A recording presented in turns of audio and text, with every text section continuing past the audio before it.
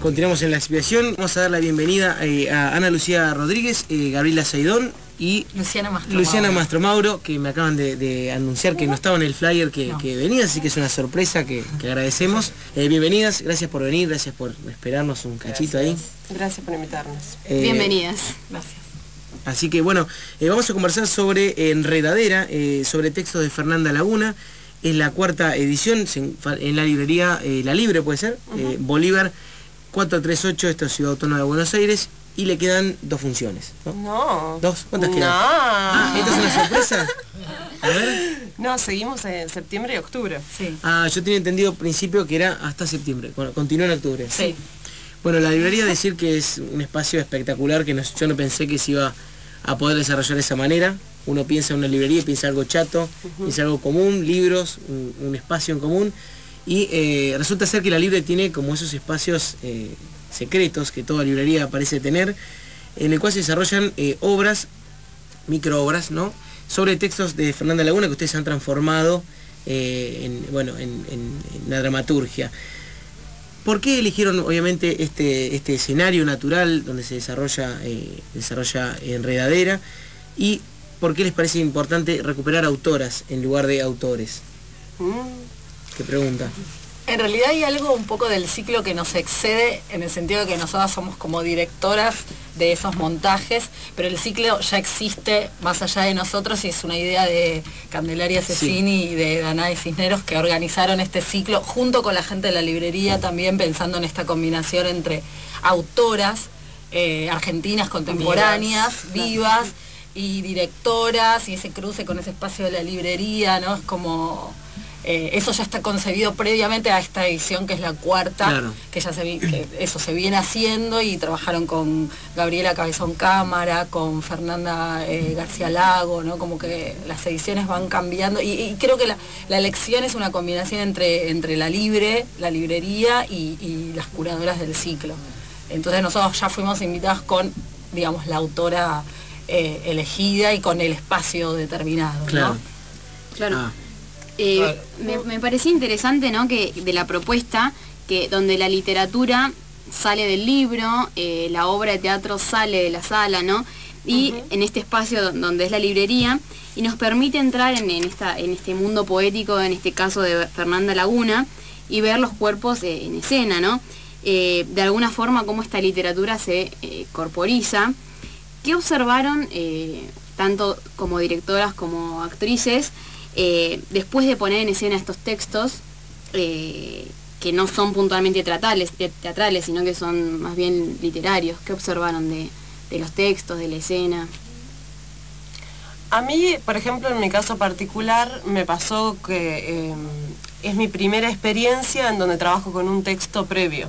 Por más de que el texto está muy fragmentado y, y es, es elegido, digamos, eh, dentro de toda la literatura de ella, eh, fue la primera vez en donde tra- trabajé a partir de la palabra. Suelo trabajar más a partir de la imagen o mismo del vínculo de la actuación y la dirección en la improvisación y me hizo concretamente como valorar algo mucho más de- del decir, de dirigir el decir, que me encantó, por ejemplo, y también de la palabra en la escena, ¿no? Justamente, lo poético, tomarse ciertas licencias, no sé, en el caso de nuestro trabajo en particular pasa, me pasa a mí, que hay algunas cosas que son como poemas, fragmentos de poemas, que uno diría que difícil que alguien hable así, eh, y sin embargo nosotros nos otorgamos esa licencia porque nos parece que está puesto en valor algo de la palabra en el trabajo. Sí, pasaba un poco al leer los textos de Fernanda Laguna, un poco lo que hablábamos en la antesala, de que la escena pareciera estar en el texto ya. Digo, Bueno, en general eso sucede en la literatura y en la escritura en general, pero a veces es más clara la traducción a lo escénico. O traducís a veces, no sé, como algo más de los procedimientos de la escritura se traducen a la escena. En este caso era como decir, bueno, ¿cómo, no sé, mismo cuando Lu armó el recorte y me lo pasó, yo dije, "Bueno, pero ¿cómo? O sea, me encantó los textos, me, me, me- me rebotaban en un montón de lugares también de escritura, de escritura más adolescente, de una escritura adolescente también, o de. Pero después era, pero esto cómo se actúa. Como muy. me parecía muy complejo. y creo que funciona lo que preguntabas, un poco estrenando y pues, confiando ahí en el mundito que, que armamos, empieza a ver, empieza a aparecer ese diálogo, de ese texto salido de la escena salido del libro, metido en la escena y la escena metida también en un espacio no teatral, ¿no? Que está bueno, que es como ese, ahí ese sucucho que, que, armamos, que es como también se vuelve con escénico por ponerle la luz de una determinada manera, no sé, como todo el tiempo un pivoteo. Eso. Eh, sí, para mí como también hubo bastante como trabajo previo antes de ponerlo ahí en escena, como me parecía que un poco era como escribir una obra de teatro, entre comillas, digo, porque a la vez como, claro, lees, la, no, lees novelas. Como una adaptación.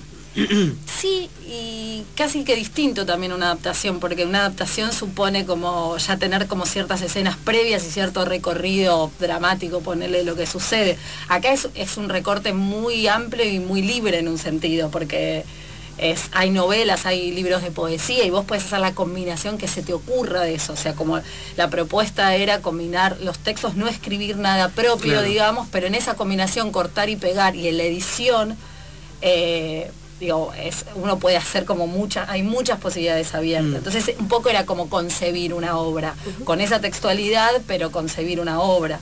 Eh, y ese trabajo me parecía re interesante, porque no tenías que inventar nada, pero a la vez un poco estabas inventando porque no sé, yo agarré como me armé como dos personajes y un determinado arco dramático que tampoco era lo que estaba necesariamente en la novela, si a la vez también, son de, yo trabajé con dos novelas. Con dos novelas. Y ese armado supone también la escena, de algún modo. Después pasan otras cosas. Bueno, contarle a la gente que primero empieza en un escenario, después baja a un subsuelo y otro escenario, después hay un tercer escenario, ¿no? Eh, los tres están dirigidos eh, por tres personas distintas. Sí y eh, en algunos se repite el mismo texto. Va, el mismo texto no, en realidad el, el, los personajes, los personajes y, y frases y fragmentos de texto también. hay personajes. No, no, claro. No, claro, personajes de la novela, digamos. Profesor. Claro, Sí. Eh, bueno, es muy potente visualmente, lo que me lo que ocurre es que es algo totalmente nuevo, original, la gente como que se queda como como bueno, que, que viene a ver, es algo tan tan raro, ¿no? El recorrido que ofrece la obra, que la verdad que la propuesta en sí es muy interesante y la selección de los textos también son, son, son espectaculares. Es como que es imposible que no te sientas en algún momento eh, interpelado, tocado por alguna de esas, eh, de esos retazos como que van de, soledad que van dejando los personajes, ¿no? Es algo que, que creo que cada uno se llevó algo ese día. Sí. Me parece a mí. Sí, aparte está bueno que también eso que nos pasó, como que fue un poco sorpresivo y azaroso lo de la repetición de los textos en los distintos materiales, porque eh, no, lo combinamos previamente y después cuando se armaba ese mismo texto en otra, en otra situación, en otra escena, en otro espacio, con otro personaje, también a decir, ah, resonaba como de otra manera y armaba eso, lo multiplicaba, estaba bueno. Resonaba de otra manera porque el primer personaje está encarado de una manera y, la directora de, abajo lo encaró de otra. Claro. Eh, y cuenta lo mismo, así que eso también es un, acierto muy importante. Em, me, resultaba también curioso el hecho de que bueno que hayan elegido autoras, porque me parece que en sí, ya que hay un, hay un texto que habla de una maestra, eh, que tampoco ni a unas maestras a veces en los colegios eh, o en, primario, secundario, terciario dan eh, autores, autoras femeninas, pero eso ya es histórico, ni siquiera libros de, no sé, de Victoria Campo, Silvino Campo, no, no llegan. Y eso me ponía a pensar también, me gustaría saber qué opinaban ¿no? respecto de eso, ya que la, la apuesta combina textos de, de, una autora, ¿no? Mm. Sí, me parece que es un poco la idea del ciclo, ¿no? Poner en escena eh, autoras femeninas contemporáneas que no son lo que en general se trabajan, ni en los espacios de teatro, ni en las escuelas, como vos decís. Me parece que es eso, otorgarle un, rango necesario em, a esas voces, a esos textos, ¿no? Sí, claramente nuestro imaginario de autores y, autoras, digo, está muy marcado por figuras masculinas, ¿no? Los escritores, los pintores, mm. los cineastas. los artistas, ¿no? en general. En una época claramente donde aparece no solo la necesidad de, cierta de ocupar espacios hoy, las mujeres están ocupando espacios, sino también eso de visibilizar también, eso es lo que decís, en las escuelas. Y el teatro es muy fuerte también, los textos de autores masculinos eh, muertos. claro. Mm, claro. Eh, entonces es como decir, ah, bueno, digo, no solo leerlos, circularlos, me parece que en los talleres, por ejemplo, se circula mucho material más contemporáneo, pero después es muy común de cuando se va a hacer una obra, bueno, se trabaja sobre Miller, los textos de... Claro, en Claro. general son Ah, todos Me, pongo a pensar, por ejemplo, ya que decís teatro, las obras de San Martín, las obras de San Martín no salen de, eh, salvo la cambia la directora, puede ser, sí, eh, hay una, una apertura en ese, en ese costado, pero en cuanto a, la- a los textos son siempre autores masculinos, entonces también eso eh, uno se tiene que poner, plantear, ¿no? Y en, cuanto, Sí. cuanto a esta obra está bueno. Y cuando vas a leer algo, te- a mí me pasa Sí. bastante, que a veces voy hacia la biblioteca y quiero leer un libro y digo, ah, quiero alguno de una mujer, como que hay mucho, muchos Incluso- publicados. También Fernanda Laguna en su, en su imaginario, en, en su mundo ficcional también me parece que es bastante interesante en ese sentido. A Mm. mí me pareció como muy moderna, como la relación entre las mujeres que planteaba. eh, Sí. Bueno, Dame pelota desde chicas futboleras y, y Claro. tiene unos años esos libros Sí. y son muy radicales en sus propuestas. O sea que ella, digo, también ahí en, en- en la misma ficción que ella propone eh, hay muchas mujeres. eh, montón. Entonces, y, y un planteo sobre eso, que también está bueno. Bueno, uno de, lo- de los temas recurrentes que, que aparecían ¿no? en los textos eran el amor, el desamor, la soledad, que aparecen e- en, en estas tres obras, ¿no? Eh, bueno, ustedes habían tenido ya contacto con, con la literatura de Fernanda y, y qué les pareció, si no fue así, cuando recibieron los textos, eh, qué les transmitió, qué, qué les transmitió esa literatura, esos textos, ese decir. ¿Quién quiere empezar? A mí me pasó algo como que, de- que caí en la confusión, por decirte, porque ella tiene un alias que se llama Dalia Rossetti. Entonces yo leí textos de Dalia Rossetti sin saber que era Fernanda Laguna eh, a quien estaba leyendo, ¿entendés? En ese, eh, así le- leí eh, Me encantaría que gustes de mí, que es la única que había leído previamente de ella. eh, que me había fascinado. que, Bueno, que ahí está el personaje de la maestra, también, que rebota bueno. tanto, que es muy bueno. Y después me pasó en la medida, bueno, ese texto me encantó, me gustaba mucho algo de cómo se transmitían las imágenes justamente y también de lo particular, esto del mundo de las mujeres, el mundo femenino desplegado. También me pasó lo mismo en relación a Dame Pelota, que ya lo empecé a leer después de inaugurado el ciclo, de- que me habían convocado para el ciclo, que justo estaba el Mundial de Fútbol Femenino acá, nos estaba yendo re bien. de Y bueno, pronto fue una explosión también, una sí, sí, claro. Y se me volvía Sí. tan contemporáneo que no podía creer que el texto en realidad tiene como 12 años, una cosa así. Eh, nada, me resulta una voz muy singular, muy particular, muy al borde, me interesa todos estos juegos que ella hace, por ejemplo, pasa de que el, libro está firmado por Dalia Rossetti y los personajes dentro del libro se llaman Dalia y Fernanda, por ejemplo. Entonces todo ese vínculo autorreferencial también me parece muy interesante. Ah, mira. Claro, tiene como una vuelta, uno, uno deja, ¿no? En sus textos a veces un poco de... de- Y ella deja la una- sospecha, no sé qué Sí. será de ella que no. Más que sospecha. No, porque se nombra a sí mismo y eh, de hecho el personaje de la, de la maestra se llama Fernanda, nombra a sus amigos, Claro. eh, nombra como todo un círculo de relaciones conocidos y que forman parte de la realidad, está ese juego todo Claro. el tiempo. Es bastante graciosa y divertida Sí. también. A mí, Sí. a mí me pasaba eso también, la leía y me parecía bastante como, sé, eso, es gracioso lo que... Fue muy dinámico.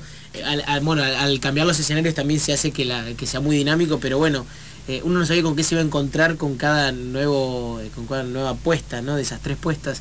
Pero la verdad que era muy divertido también, hasta en los momentos más dramáticos, ¿no? Ponía a pensar, por ejemplo, en, en tu momento también, era, tenía momentos donde decías, bueno, pobre mina, pero, pero igual te, te- te reías de, Y de se ríe, desgracia, yo creo ¿no? que se De- ríe un poco de su Sí, desgracia. sí, Digo, sí, en, la- en sí. lo- en el texto se Sí. percibe Sí. eso y me parece que hay algo de eso, de, de- de burlarse del patetismo propio también, Sí. ¿no? Como de ese lugar de también de la soledad y el desamor y de, Sí. de esperar que alguien venga a salvarte. Mm. aunque está atravesado con mucha sinceridad. O sea, para Ah. mí ella no escribe de una manera paródica. Ella se, tiene un costado en donde se sabe eh, eso, que tiene cierto borde patético, por decirlo, eh, pero me parece que escribe con sinceridad, como, como muy, eso, muy sincera, no es que pienso que ella tiene un, costado paródico en su, en su vínculo con, no sé, con Paulo Coelho o, o con algunas zonas que una miraría distinto, digamos. Ahora vamos a hablar de eso, de, Pablo Coelho, de qué hace, uno cuando toca fondo. Eh, si les parece vamos a escuchar un tema y regresamos. ¿Qué tienen por ahí? ¿Con qué me sorprenden? A ver. Bueno. Ya regresamos a hablar sobre Enredadera, textos sobre Fernanda Laguna. Caminamos una calle sin hablar. Búscanos en Facebook como La Expiación FM 90.1 y nuestras entrevistas y programas completos en YouTube como La Expiación Radio. Te esperamos. Te esperamos.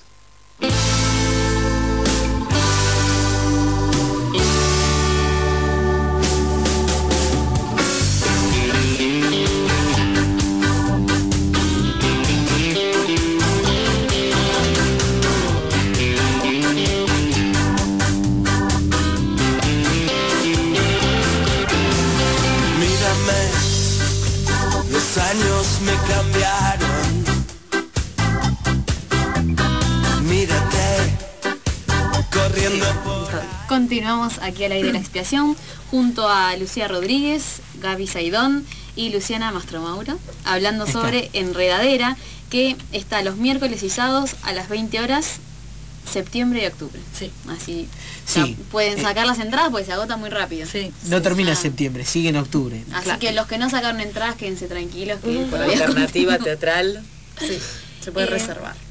Bueno, hablábamos ¿no? de, los temas recurrentes ¿no? en, estas tres eh, piezas ¿no? teatrales, eh, que eran eh, la soledad, el amor, el desamor. Y en la soledad ¿no? que se transmite en el texto, por ejemplo, del invierno en Chomaceta, había algo de recurrir a, los libros de autoayuda, ¿no? de, bueno, justamente en esta historia el personaje o, o, la mujer que vos interpretás recurre eh, en esa desolación a un libro de Paulo Coelho, ¿no? ¿Qué creen ustedes que tienen estos libros que son tan convocantes, ¿no? Eh, en algunos momentos, o por ahí todos alguna vez pasamos por algún libro, leímos algún libro de, ese estilo, ¿no? ¿Qué tienen de convocantes? Decís? Claro, ¿qué tienen de atractivo?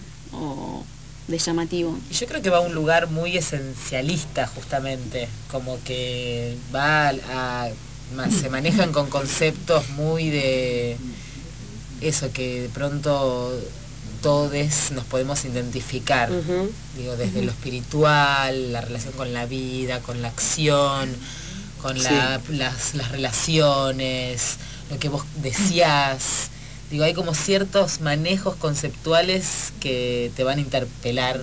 Como el horóscopo. Como el horóscopo, exacto. y la receta también. porque la, contracara de eso es que hay una, receta fácil de la que podés salir de eso, que por ahí otros libros eh, no, uno no, no va con esa expectativa, dice, bueno, vas a leer y vayas a ver lo que vas a encontrar. Ahí se supone que por lo menos está la promesa de poder hacer unas determinadas pautas que te van a llegar a resolver tus problemas. Rápido rápido. No, porque la filosofía infalible. Para mí, la filosofía también cumple un poco esa función. Yo tengo medio recuerdo, o sea, pero es cierto que es más complejo, te implica un trabajo mayor, pero si estás muy, muy, muy enroscada. no, si estás muy enroscada, digo, leer filosofía también es como hay algo de la lectura como que como un plano de la abstracción. Me parece que lo que hacen los libros de autoayuda es ir a ese lugar filosófico, pero es un lugar muy simple, como directo y eso, y, receta, está bueno. Claro, que es la felicidad y se responde con, bueno, tomate un vaso de agua y salí a caminar, no sé, como que tiene una respuesta, entonces eso tranquiliza un poco. Yo me podría pensar en esto que hablábamos justamente en el corte, que era esto de que aparece, aparentemente es un lenguaje coloquial el que, el que toca eh, Fernanda, pero después tiene algunos tintes como de poesía, algunos momentos en los cuales el personaje o, la persona se pone eh, a pensar en uno mismo como de una manera muy, muy, poética, ¿no? Y yo me voy a pensar justamente en tu, en tu personaje, ya que estás acá, eh, ¿qué te deja vos también, ¿no? Interpretarlo, ¿en qué, en qué pensás, en qué te remite, si alguna vez te remite a alguna situación tuya, o, justamente esto que decías, que a veces pensás en lo patético que podemos llegar a ser, ¿no? En lo patético que somos en ese estadio donde el amor no es correspondido o, donde estamos solos, ¿no? Y no, no queremos a nadie más. Sí. Y sí, me remite un poco a lo que comentaba antes, al, la, a, la, a la primer lectura de Fernanda. A mí me llevó bastante a un lugar reconocible de escritura, de desesperación, eso, de- de ubicar como un lugar creativo en el desamor, en la espera, en algo que no sucede, en desear algo que está afuera, no sé, hubo como varios lugares que me... Sí. Y, y ahora no sé, al actuarlo, y me gusta esa combinación que nombrás, como que hay algo coloquial, pero hay un lugar poético, cómo con eso construye una poesía, o se arma imágenes. Sí, Me, está bueno transitarlo, como que por un lado hay algo de ese lugar, a mí me pasa un poco desde la actuación como si las- los, los personajes o los tránsitos actorales por los que voy son como eso, como lugares personales que me voy sacando un poco de encima. Creo que haciendo ahora mucho la, a esta, este personaje dramático está bueno, como que siento que voy, la voy me, la, me la- la voy despidiendo. sí. Eh, Autoayuda. pues, autoayuda. Una nueva manera de Exacto. Sí, Se hizo La una actuación obra es también un poco eso. Ciertamente. Bueno, eso. Un- Uno trata de buscar ¿no? también en, en las tres historias siempre lo común, por más que no, que no lo tenga, por más que las direcciones sean bastante distintas y, y- y enriquecedoras, porque las, las tres son distintas y están buenas, eh, uno trata de buscar eh, un punto común. Y un punto creo que tiene que ver con lo que plantea mi compañera, de que es la soledad, ¿no?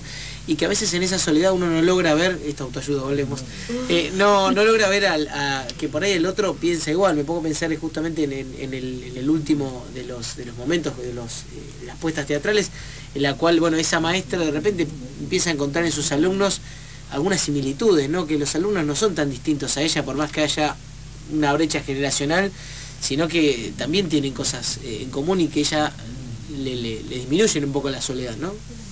No sé, eso me ponía a pensar en, en el sketch ese, la verdad que, por decirle así. Sí, sí, tiene como, pareciera que hay como encuentros así repentinos con los otros, las otras, les otros, eh, pero que lo que está como todo el tiempo amenazando es la soledad absoluta, algo, algo de eso. Y nos parecía bastante, si bien eso pasó que son todas, las tres son muy distintas, había algo de eso de que cuando hablamos parece como una única narradora, casi que podría ser una Claro. única voz, porque por ahí otros libros o hay otras novelas, si bien cada una tiene su universo, tienen algo como eso, como una voz muy común y temas que atraviesan todo el...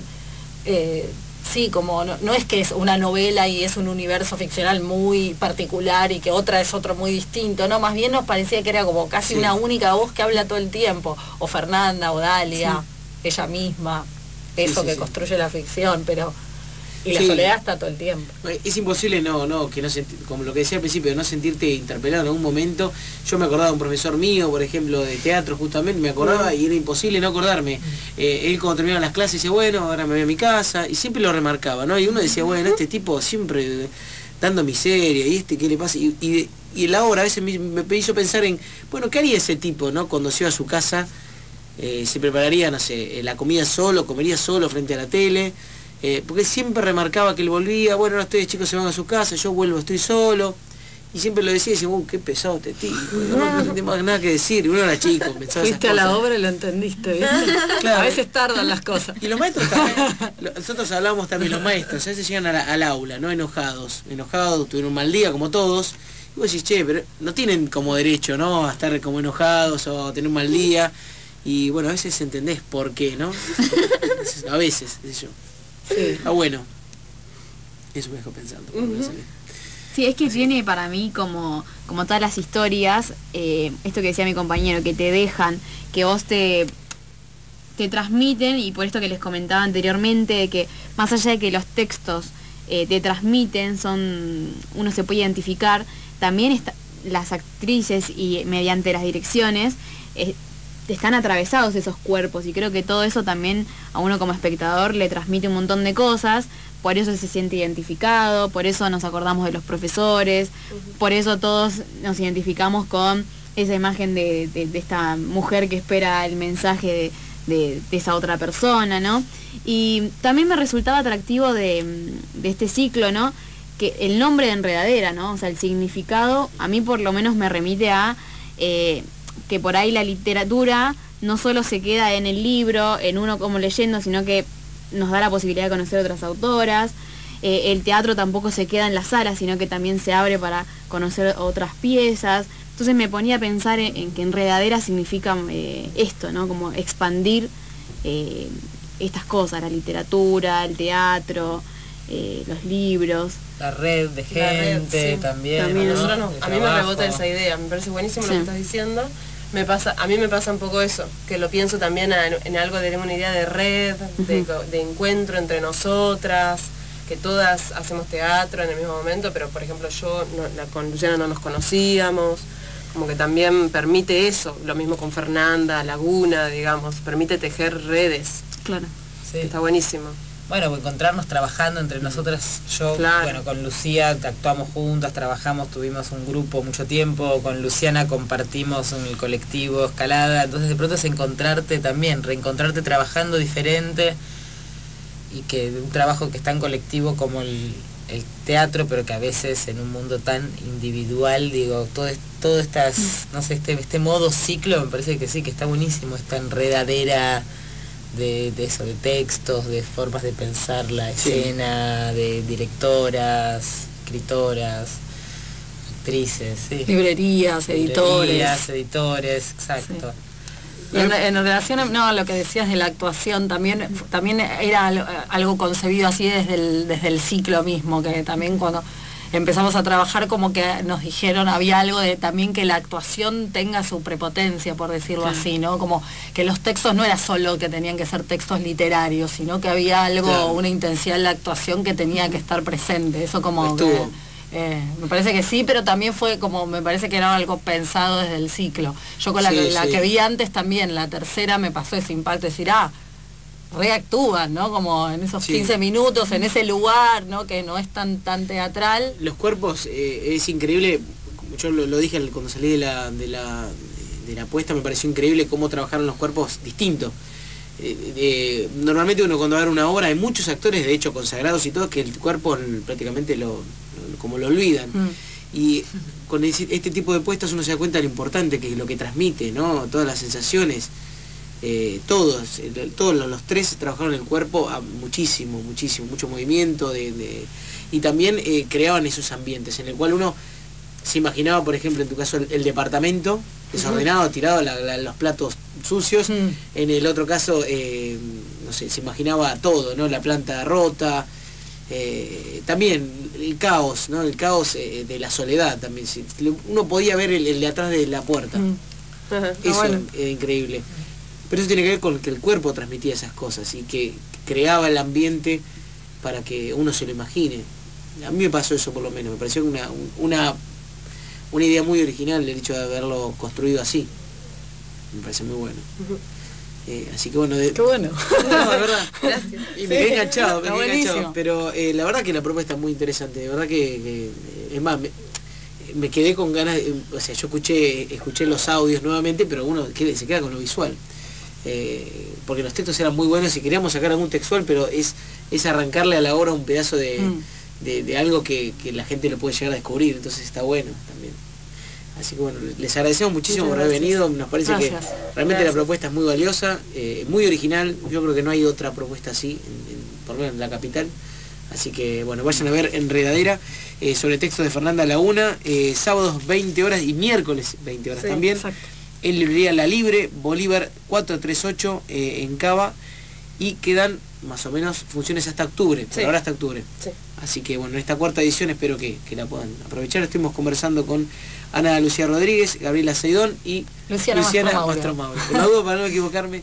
Así que bueno, gracias por, venir. Muchas gracias. Aparte también agradecerles eh, por haber venido, por habernos también eh, regalado estos tres momentos, estas tres piezas que la verdad es que, como decía antes, si no hubiese sido construido, como decías vos, si no hubiese sido construido desde todas las partes, desde todos los que conformaron, creo que no hubiese sido posible, así que nada, la verdad es que eh, me encantó, nos encantó, así que muchas gracias. gracias. Gracias. gracias a ustedes.